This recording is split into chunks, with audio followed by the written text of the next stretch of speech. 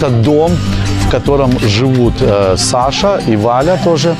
Так получилось, что они оказались на улице, никому не нужны, и мы вместе сможем помочь им.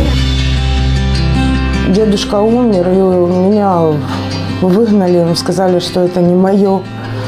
И пришлось э, забрать детей э, без ничего. Потом я познакомилась со Станиславом. Ну и мы когда разговорились по, по поводу того, что мне жить негде еще с двумя детьми, и он помог нам сюда заселиться, в этот дом. Привез мебель, привез э, посуду, все, все, что нужно э, на первое время. А постепенно потом помогал нам и дрова, и брикеты, э, ну и пайки э, с продуктами. Реально я могла с двумя детьми остаться на холоде и на голоде, потому что никому не нужна. Ну, ни своим родственникам, близкие ни близким, ни подругам, некому было обратиться. А вот Станиславу позвонила и отре- ну, отреагировал, помог моим детям. Огромное им спасибо. И он старший мой, ну, Ярик. тоже благодарен. Обстановка тяжелая, но это тот вариант, который мы смогли найти. Осенью мы смогли взять, но здесь туалет на улице. Это очень тяжело для детей. Э, Зимой особенно. Нам нужен больше дом. Нам нужен дом э, ну, двухэтажный или больше, чтобы комнат было. Чтобы было место, куда положить овощи, продукты.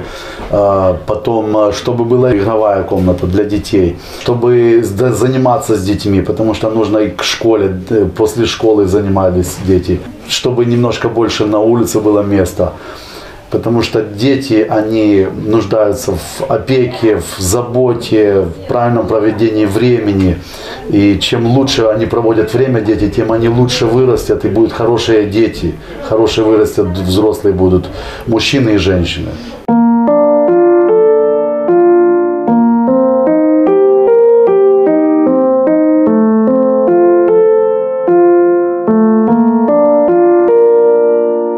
Спасибо Станиславу, что он э, нас взял, э, протянул руку помощи нам.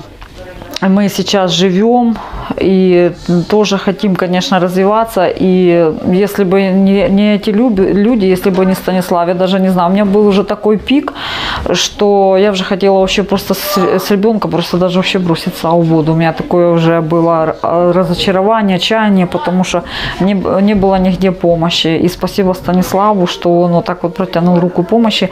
И мы сейчас э, хотим ну, развиваться, работать. Э, Уже вот находим не- таких тоже людей, чтобы помогать им. Но нам нужен, конечно, по- ну, больший дом, и чтобы это был наш дом, потому что мы ну, сейчас арендуем эти дома, и нам так, ну, то мы здесь, то нас опять переселяют, а когда оно свое, то это есть свое, конечно, и мы бы очень хотели, ищем сейчас. Меня зовут Маша. Я нуждалась в вещах, я нуждалась в еде, в, в общении, и что просто кто-то меня согрел словом. Мы и с Машей вместе планируем, чтобы она тоже была с нами.